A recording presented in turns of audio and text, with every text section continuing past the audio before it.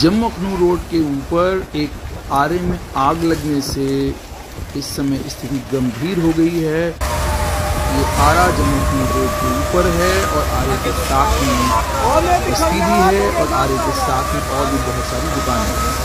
Fire brigade की team मौके पर है और पूरी कोशिश कर रही है फायर ब्रिगेड की टीम इस आग को बुझाया जाए, लेकिन उनके लिए संभव नहीं हो पा रहा है। अनथक कोशिश के बावजूद आग